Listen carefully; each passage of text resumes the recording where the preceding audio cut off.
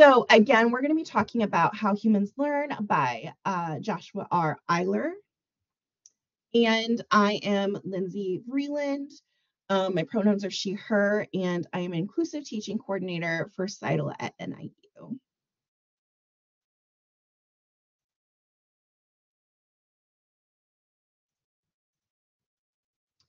So in this workshop, I'm hoping that we'll all gain an understanding of the five key concepts in course design that Eyler sets out. We'll be able to uh, analyze and discuss the impact of the five concepts on student learning um, and think about how they apply to course structures to enhance student engagement and success. And we'll engage in collaborative discussions with uh, with each other, sharing our experiences, asking questions, and applying key concepts. Let me turn off my little person. Um, and again, uh, feel free to type in the chat as things occur to you, uh, share as much as you want to share. And if you have questions that occur to you later, please email me. Please have those conversations with me. I am here for that reason. Some of us take a little bit more time to reflect and then um, come up with ideas, and that is normal. Um, that is okay. That means that you uh, are actively thinking about things, which is amazing. Um, so this is what the book looks like. Uh, you do have availability to the book in through the library. I'm not sure if it is uh, if there is a physical copy. Um, you can also ask me about it and I can lend you it through the CITL library as well. So, um, in Eyler's book, he lays out this idea that children and adult learners aren't that different, uh, which is different than some other people have been saying for a while. Um, but he talks specifically about the plasticity of brains and talks about how we're constantly learning. So while uh, we tend to think about children learning huge things and it rewiring their brains, he's saying that um, new information is constantly coming in. We're constantly learning. Um, but that just means that in order for it to be retrievable and useful and stick with us for a long time, it has to be used in a spec- in a significant way. So um, a lot of the information might be novel to children and it might not be to us, but that means that we need to uh, really do what we can to ingrain that information. Um, we learn how we we learn how to learn as children, and we use those same processes throughout uh, adulthood. And there are five features within a course that have an, a significant impact on student learning and can also serve us in the world beyond um, formal education. And those uh, those five features are curiosity, authenticity, sociality, emotion, and failure.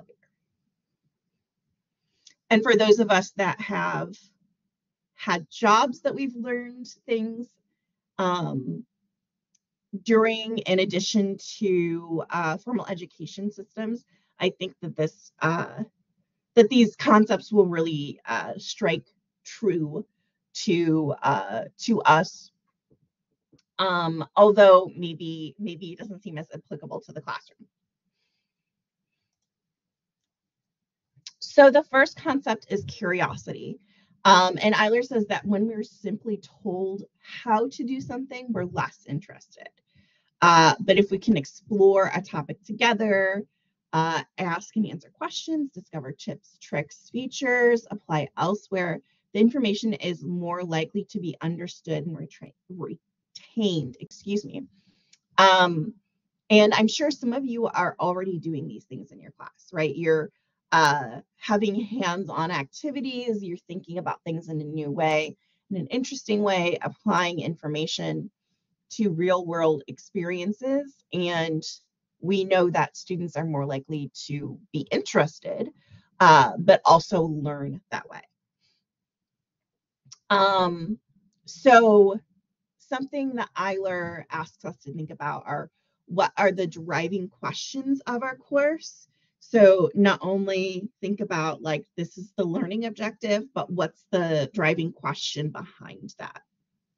And what curiosities do you and your students have on the topic?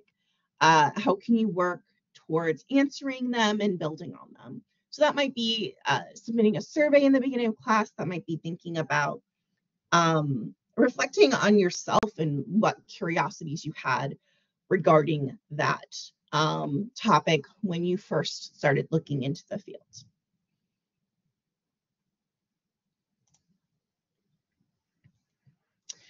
He also says that authenticity is very important. So, this idea that learning is centered on authentic, relevant, real world tasks.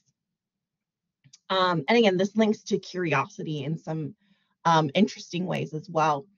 Uh, that students are actively engaged in exploration and inquiry, that learning is often interdisciplinary. So, we're not just looking at um, geometry for geometry's sake. We're thinking about it in context of the real world of how students might actually use it in their uh, day-to-day lives or um, even in niche uh, sort of activities that they might not be doing day to day, but it might be applicable in the future. Um, and some of this authenticity also might come from role playing, modeling a workplace, in class demonstrations, collaborating with appropriate workplaces or offices or groups on campus.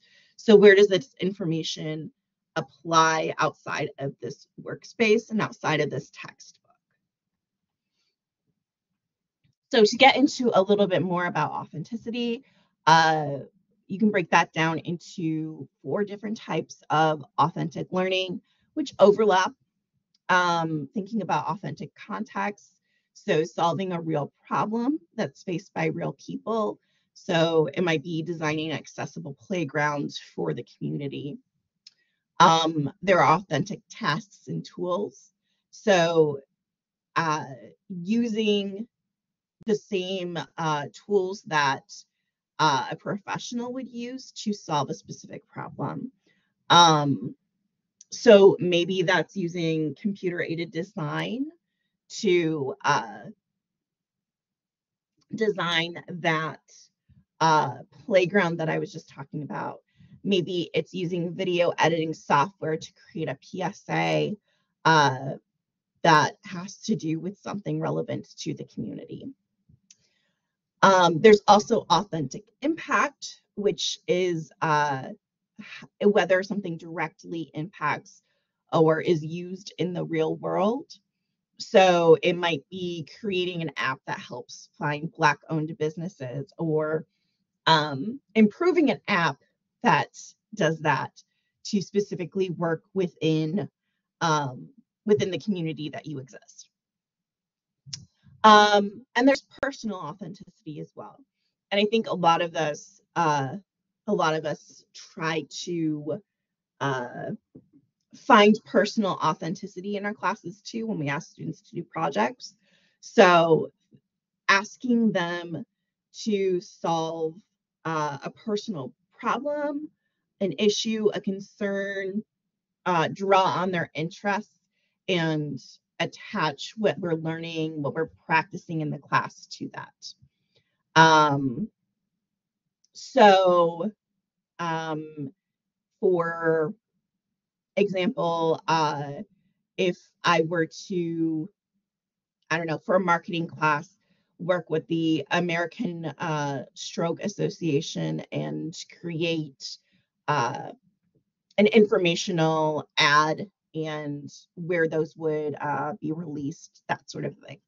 Um, if that's something that I'm interested in, then maybe that would be what my project focuses on, what um, picking up things that I've learned from class, but applying it to something that is specific to my interests. Um, it doesn't mean that it isn't interesting or important to other people. um, but I'm more likely to be engaged and feel like it's important or valuable when it's something that I care about specifically.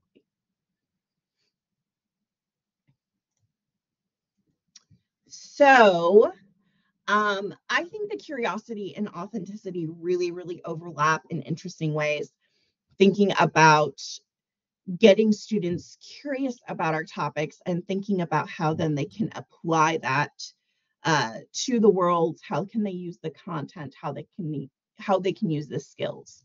So, um, whether it's in the chat or um, if you want to turn on your mic, you're also welcome to do that. I'm curious if uh, any of you are uh, using curiosity or authenticity in your courses, how you're using them, or how you've seen other people using them, and if there's specific challenges that you've experienced or that you would um, anticipate experiencing it, using curiosity or authenticity within your courses.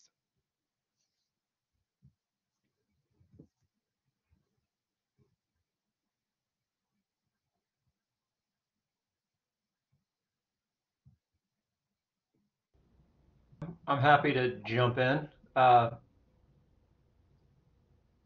so I've tried in my sociology courses that are methods courses to pick topics that would be of of interest to students, um, whether it be like a global type issue, like like studying issues of global warming, or a more like localized issue, like studying the experiences of being a college student. Um, in terms of authenticity, I guess I've tried to do like authentic, using authentic task and tools. In other words, developing a project and having the students use the software and other techniques that ethnographers would use. Um, but uh, but yeah, I would say the challenge has always been that um, I think that even though I'm going back to what I said originally, that how I think about learning isn't apparently how students always think about learning. I think the challenge is that sometimes the students, uh, yeah, they just don't see it that way. Like so, like when we're using the authentic task and tools, instead of seeing, oh, this is how real sociologists actually do research, I think they're more likely to think, oh my God, this is just a lot of uh, tedious work, which it is. It is tedious to, to analyze qualitative data. So instead of thinking, oh, this is authentic, they instead just uh, often describe it as busy work, which to them is like the opposite of authentic. So, so yeah, trying to find that balance is, is a challenge for me at least. Yeah, thank you for sharing that. That's 100% um, something that I think is is relatable. This idea that um, sometimes also you'll say like, "Oh, this is how you can use this uh, in the real world," and there's just a lack of interest in using it in the real world, right? They don't have that connection, um, or uh, or interest or it's like well this is this is too much. This is not what i would you know this is not the field that i want to go into. This is not um this is not what i'm interested in. I've had students tell me i well i'm not going to be a writer so i don't need to learn how to do this particular thing um so uh yeah i i think that challenge is very relatable um but it sounds like you're doing great things in your class uh, and making those connections in really uh, in really interesting ways and grounding um, grounding the work that you're doing, um, giving important context, which is awesome. Um, let me see. Yeah, go ahead, JC. Hi, good morning. Um, I just wanted to share quickly that I'm very fortunate because the classes I teach, we do real world consulting in in the classes. So like we I we I get to work with a new company every class. so that allows for my curiosity, right? I get to learn and ask questions along with the students, which is fun. And it's just feels like a great opportunity for students to like work with a real company, the biggest challenge that I see it, for my students uh, is that students are so focused on grades that Yeah. I feel like they often don't even know what to do when something is kind of open. Um, you need to, you don't have all the information. We need to ask questions of our client. And they just sometimes are, I think, afraid to challenge themselves because I have students say, like, just tell me what I need to do to get an A. Like, instead of Yeah. really thinking about this experience and what you're learning, and you can fail here, like, that's okay. It's it's just really hard to get them there. I uh 100% I think that's amazing that you get to work with companies like that's so exciting like that would really spark joy in me too.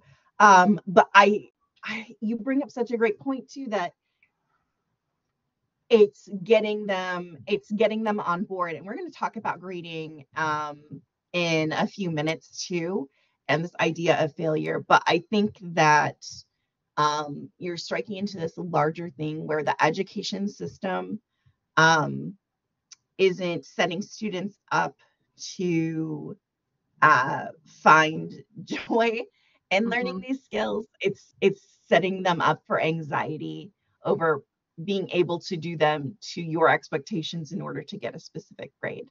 Um, and even if you're actively trying to uh, work against that in your class, it's been so ingrained.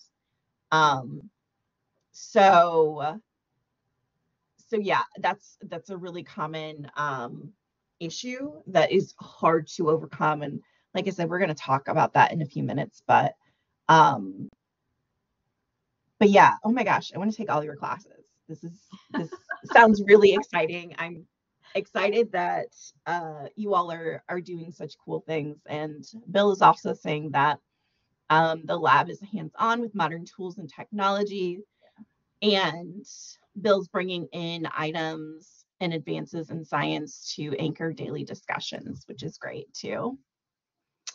Um, okay.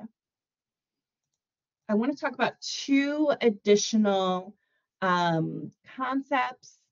Um, so Eyler brings in uh, sociality as being a large aspect of student success and their ability to learn. So if they're building relationships um, with their peers and if they're building relationships with their instructor, um, that makes them feel supported and comfortable asking questions, not getting everything right uh, the first time.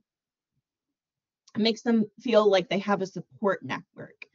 Um, and Eyler has brought up that this is really difficult for those of us that teach online classes, especially if they're asynchronous. There's just not that much connection. Even synchronous classes have a lot of problems um, having those connections too, right? Like that's something that's really difficult. Do you make people turn on their uh, cameras? Is that something that uh, is going to put them in a bad attitude for the class? Do they not want to share things? You know, is it not safe for them? Um, these these are larger conversations surrounding that. But he also talks about how uh, whether you're face to face or not, you can create videos of you talking about things to uh, help build a connection further. Um, we know that humans are forming uh, parasocial relationships with uh, people that they see online all the time because they watch their videos and they feel like they have insight to their lives. So uh, if you can build in aspects of that, even if you are face to face, you could record videos of you talking about assignments or um, going over uh, questions that people have been having. Um, you can obviously do group work or have uh, conferences, even for those of us that have really, really large classes. You might have group conferences where you have people with the, you know, last name, you know, A through F, and this is your time to come and talk to me. Um, and so you can maybe give a little bit more individual attention. Um, a variety of spaces where they can meet with you either online or in person, not necessarily just your office.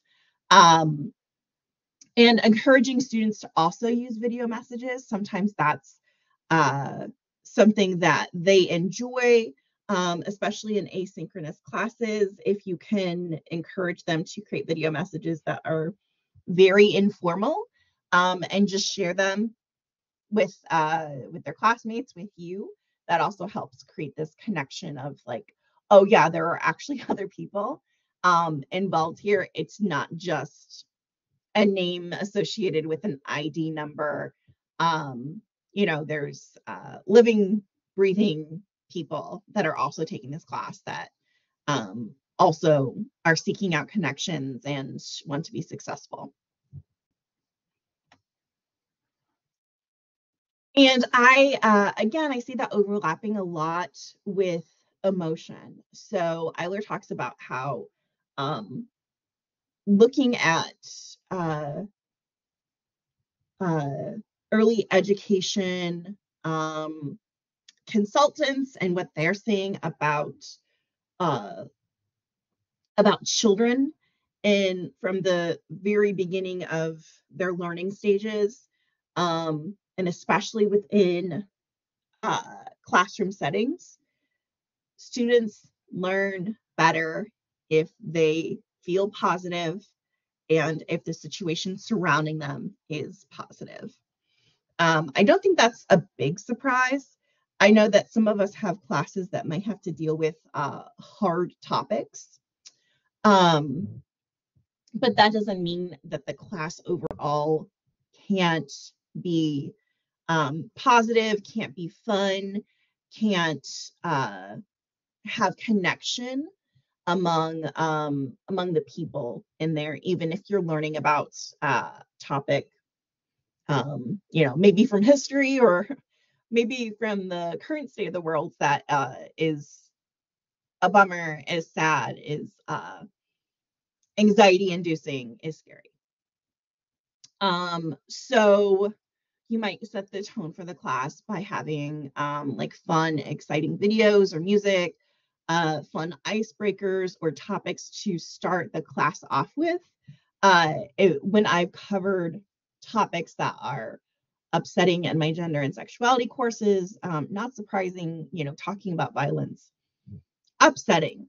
Um, we try to do uh, at the end of the class, sort of like we do a debrief, but then we also try to like reset our energy so that they're not taking that into uh, the classes and the spaces afterwards. So, what can we do in order to uh, at least get back to neutral, if not positive? Um, can we listen to a, a, funny song? Can we talk about uh, Taylor Swift? What can we do to sort of reset?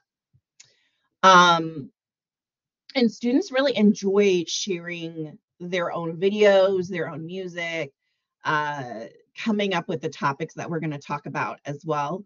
Um, so that's an opportunity for them to share more about themselves as well, get that uh, sociality aspect going.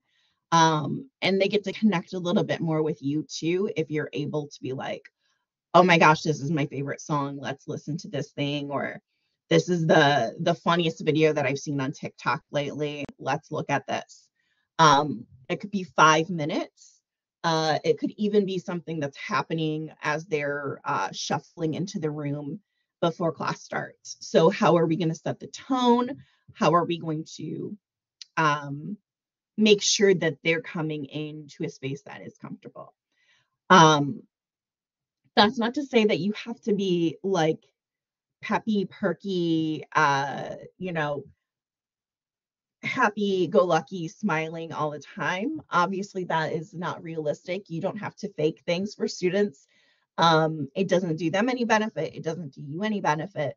Uh but having some sort of like a positive attitude about like we're coming into this space together to learn um that goes a long way. And again if you i don't know if they do uh if they take an exam and things aren't going well um, we can still have an energy reset before we go and talk about something else. So, uh, how are you breaking up that feeling? Um, even giving them five minutes after something feels off uh, or negative or icky for them to uh, leave the room, walk around the building, go outside, touch some grass, and then come back in to ready to uh, take on some some different uh, topics and take on a new um, a new mindset for the rest of the class. And that goes for you too, right? Um, sometimes you also need that. Um, but Eyler says, and we have people backing this up everywhere, uh, that students whose emotions are overwhelming, they don't have the bandwidth to learn and retain new information. We're seeing this all the time when we're talking about students that are being bullied um, or um, environments, even you know during um, extreme sort of lockdown parts of uh, the pandemic, where students, you know, were scared, they were in homes that they didn't feel safe in, they weren't learning and retaining new information. Um, so if you're covering distressing topics, again, um, if you can use uh, something to sort of um, buffer that, but also if you can use content warnings um, to help students prepare um, that something's coming and they can also sort of regulate their emotions. Um, this isn't going to work 100% of the time, but it certainly puts uh, students into a position where they can make decisions for their own learning and for uh, their own emotional safety. Um, and generally uh, allows students to opt into the conversations that are going to be happening. Um, but then again, um, like after that happens, uh, talk about Beyonce, talk about talk about something um, fun and not necessarily uh, specific to class to sort of break that up. Or if you can relate to class, that's also awesome. Yeah, JC.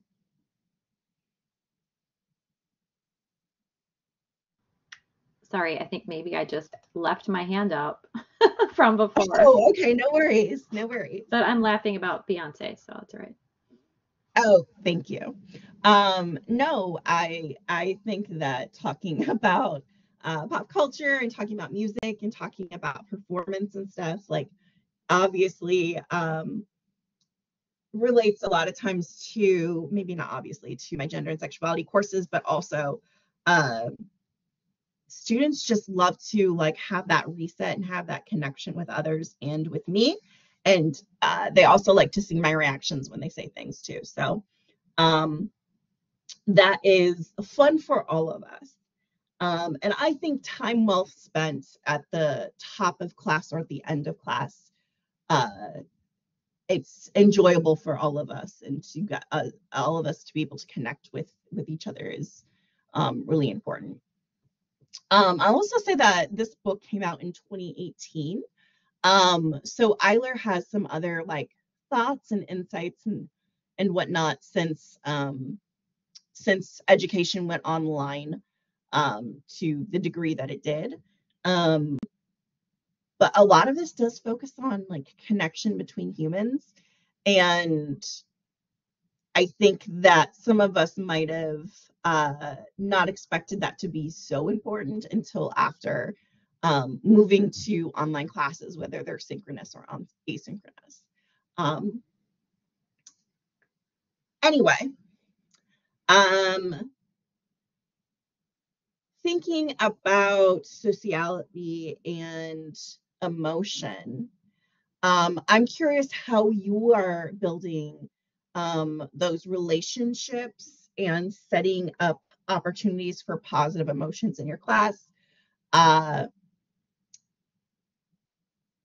oh gosh, I have a, a, a typo there, uh, but I meant to say, have you experienced that in other people's classes that you've taken or observed? Like, what are some cool things that you've seen or that you've done? And are there particular challenges that you've uh, experienced when you've been trying to um, encourage social uh, social relationships or just chatting um, in in your classes or trying to uh, set people up with uh, positive emotions. Um, have there been challenges where people just aren't buying in um, to this or are they things that you've been doing really well or you've seen other people do well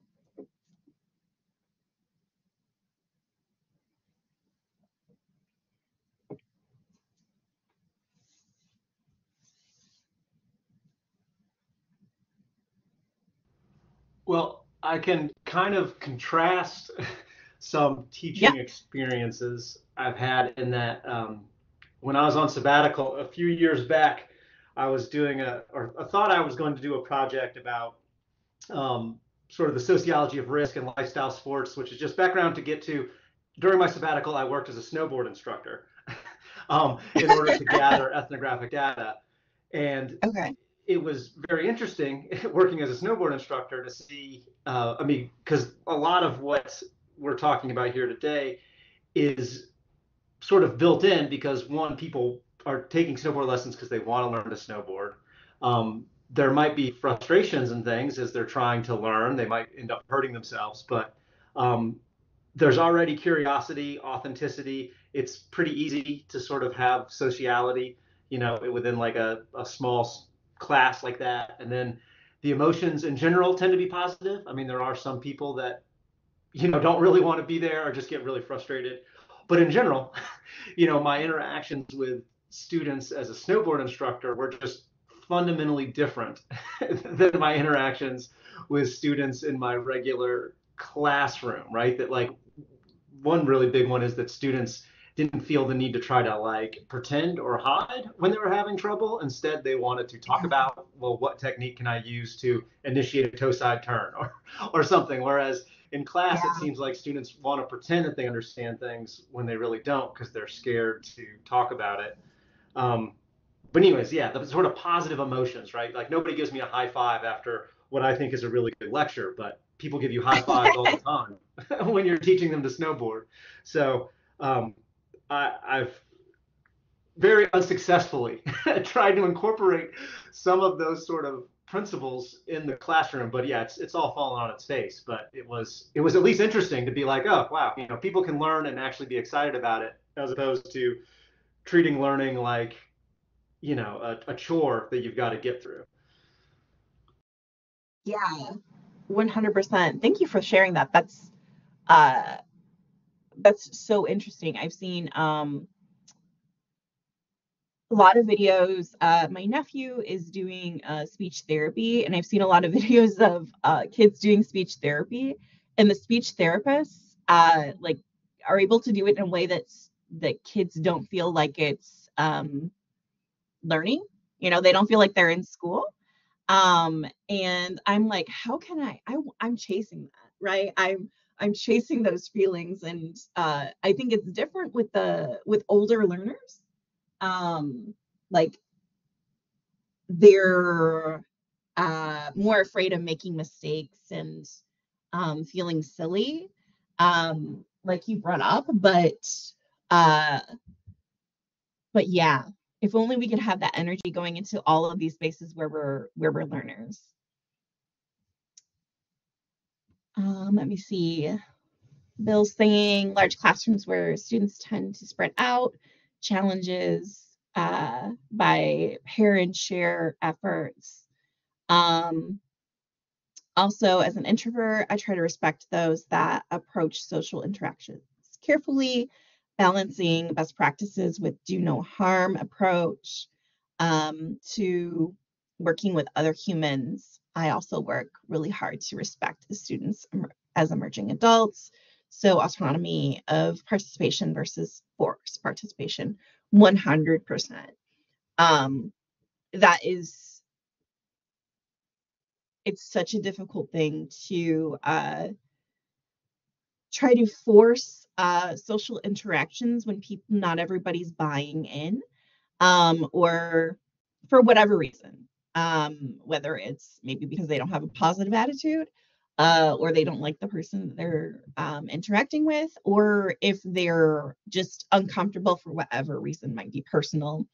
Um, and so that can be really difficult. It can also be difficult, um, you know, when we were all masking and asked to separate in class, and sometimes we'll still have students that are masking and separating for uh, personal safety or safety of others than to try to get them to work with other people in the class that feels like a big ask right?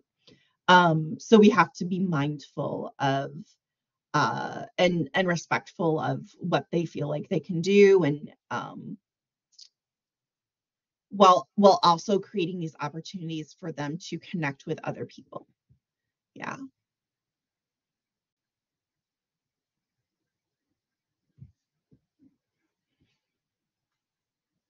I think um, what you all have been saying, um, I alluded to this earlier, really connects well with this uh, last concept that Eyler brings up, which is failure.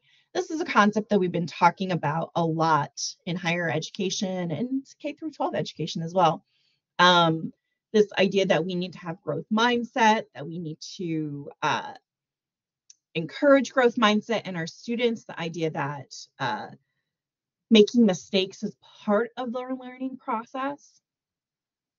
Um, Eyler says that mistakes help the brain spark and grow.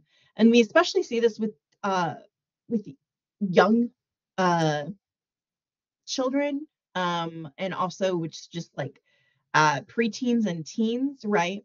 They make a mistake and um, they will hopefully learn how to do something um, better. Uh, you know, we see kids trying to learn to walk and they make mistakes, but they learn from that. We see uh, kids learning how to, and, and adults too, uh, learning how to, uh, my mind goes to play basketball, but snowboarding is also a great example of this, right? We're learning how to do something um, physical, but also have our mentality in the right spots too, so that our our brain is firing at the right time to tell our body to do this thing to anticipate what's coming. And um, those things are often not graded right? Um, my brother teaches uh, people to run marathons which is um, an interesting hobby of his. Um, but he's not grading people's performance. Excuse me. He's not telling them, oh, um, you had to stop and walk today. That's a C. Um, when they have to stop and walk, they're talking about, oh, hey, are you feeling are you feeling lightheaded? It could because be because of this. Are you dehydrated? Let's look at this thing. You have a cramp here. Let's stretch that. So it's talking about, um, they talk about skills, um, not about evaluating um, the process or the progress. Um, and so we talk a lot about mistakes being part of the learning cycle. Um, but education really um, stigmatizes and penalizes mistakes.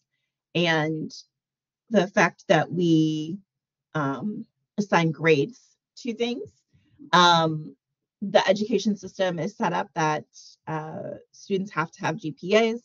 So we have to assign grades. Um, and the letters become numbers, become access to money or ability to apply for specific programs. Um, and so there's a lot of weight attached to those things. Um,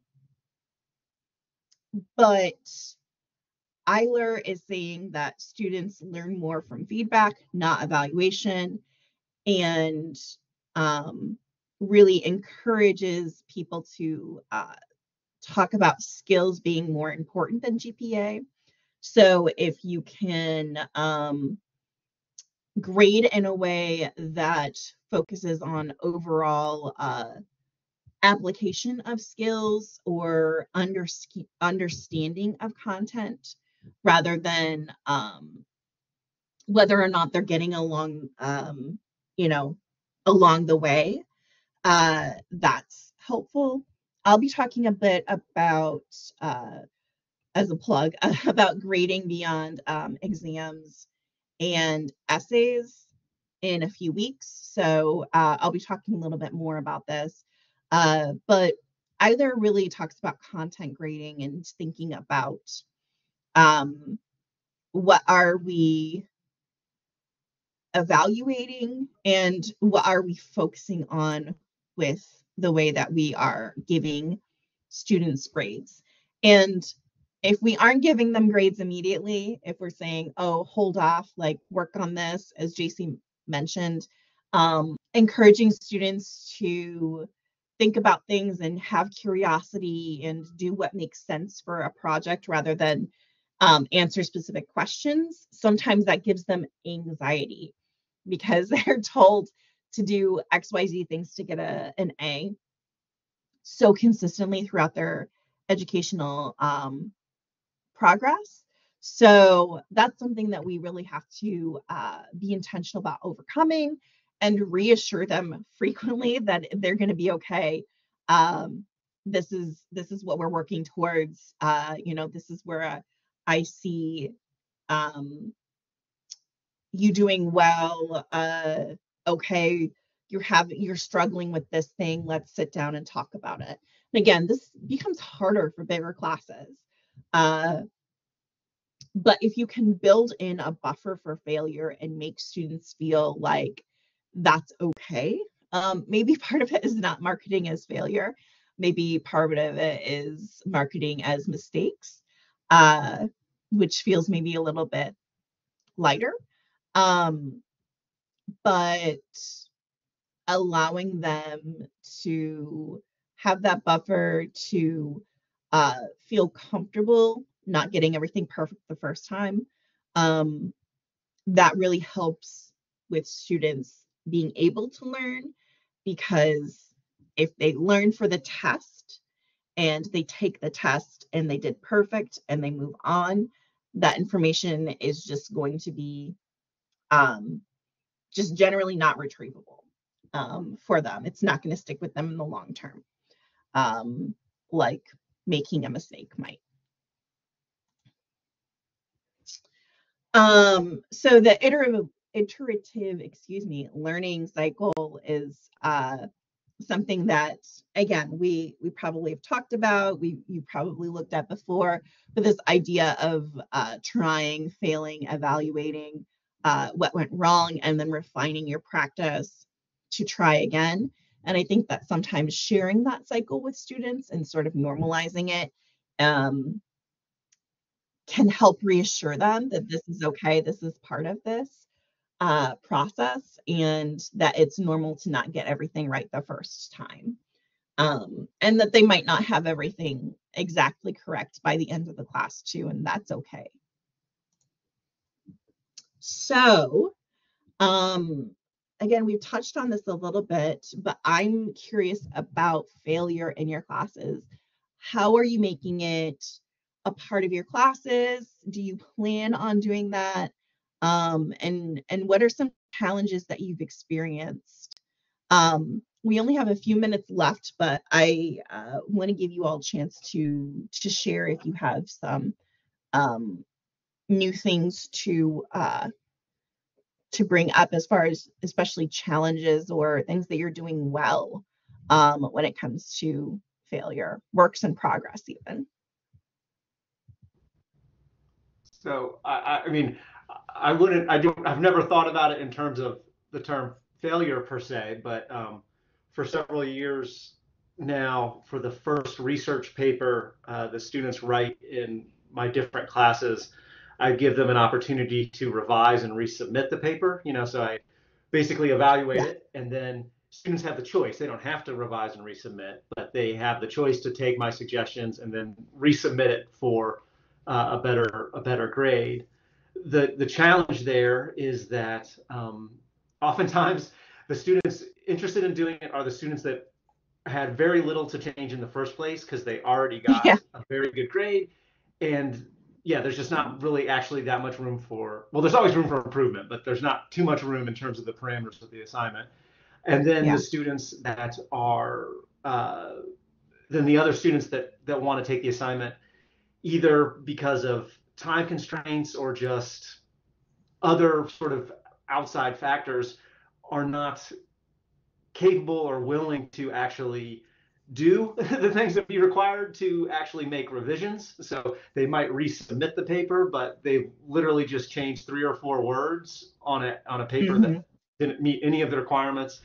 And so, um, yeah, there there've been a few over the years, a few sort of successful, like, oh, this paper's better now that we've done this. Um, but but it, in general, it's it's not worked to the degree that I have hoped it has. But I've tried to at least build in this idea that yeah, you know, the first time you do this paper, it's maybe not going to be perfect, but here's an opportunity to try to try to improve. But but again, it's not clear to me if students are thinking about it in the in the in the sort of growth mindset that I'm trying to present it to them as.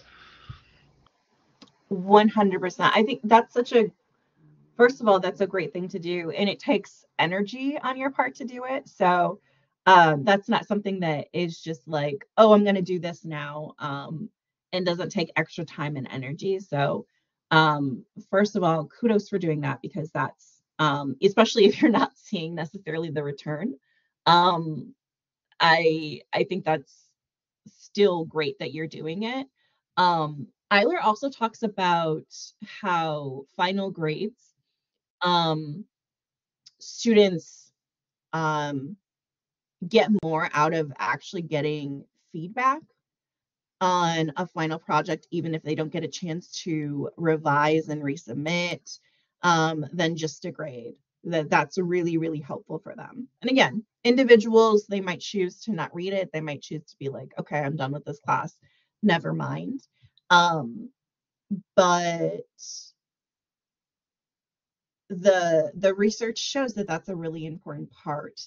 Um, so even if they don't get a chance to revise, even if they don't get a chance to dig into all the things that they uh, could be digging into, I think letting them know the things that um, they're doing well and the things that could be improved is still uh, a huge benefit to students, um, especially those that are really anxious about not being perfect um, and have that uh, anxiety and stress. Um, let me see. We are at 11. Um, I see Bill has a large comment, uh, which is great, talking about participation, um, uh, autonomy with participation and forced participation, um, and also talking about, uh, I believe, low stakes quizzes, um, and the idea of like we're we're going to go back and we can we can work on these uh, um, these concepts again and and build, uh, which is great. Um, so if you want to stick around and share more with me, I'm so happy to uh, continue to talk with you all. But again, it's 11. It's 11:01 now. Um, and I want to be so respectful of your time. I appreciate you all showing up and um, coming out and sharing and uh, listening to me today. Um, so I'll be sending out uh, all this information about the book and about the uh, PowerPoint um, in a few um, in a few hours. But I appreciate you all joining me and having these uh, these conversations. So have a wonderful rest of your day. Um, I I appreciate you and you're doing such wonderful things in your class. So I hope that you are feeling that at least today. Bye everyone.